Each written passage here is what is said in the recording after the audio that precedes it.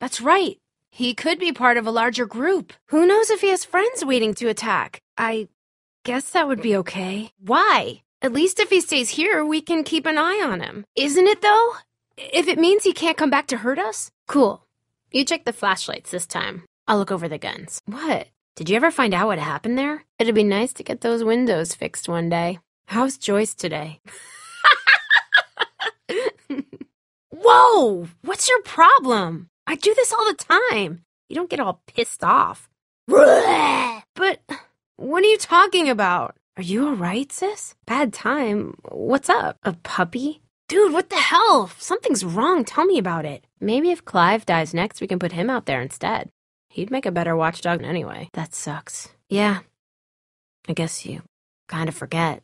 Yeah, that would suck. Fine. No?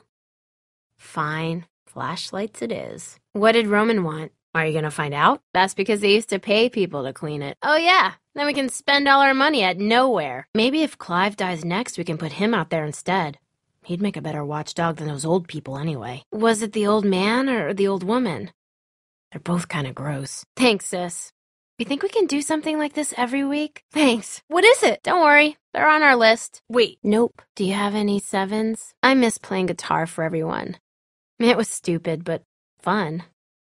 Why don't we do that anymore? You know that's impossible, right? And I should fix the loose board behind the storage lots. What? It's not dangerous. There's nothing out there but slow ass walkers. They won't. No, no one saw me. I don't see why it's such a big deal. No one is following me. There's no one else out there. In case of what? Hey, what was that all about? He said it was important. Shit. You think so? Okay. Shel? Shel? What's wrong? Am I in trouble? What is it? Shel, just tell me. Who? Oh my god. Killer? Yeah. Why would she do this to us? The hell did she do that for? Was my friend. That'll be her last mistake. But it's safe here. I mean, yeah, I want to get away every now and then, but I would never leave. That's crazy. Of course not. Roman's trying to make it better. Stupid. I'm sorry. Your gun's over there, in the drawer. Ugh, let's just get it over with. No, I don't. I just want to get it over with. What? Are you crazy? Where would we go? There's nothing out there. As long as we're here, we're safe. The group will protect us. I don't know, longer than we'd survive out there. Besides, you know the rules. If we try to leave, Roman will hunt us down. Just let me do it then. No! Roman said he wants you to do it. I'll do it when it's my turn. This really sucks. No, he won't! No! What are you doing? Shel? Shel, what the hell? Shel, stop it! Roman's waiting.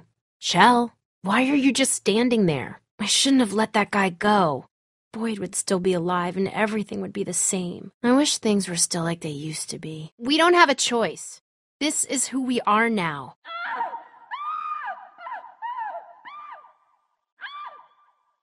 Shel, why are we even listening to her? She's obviously lying. Maybe we should go too, sis.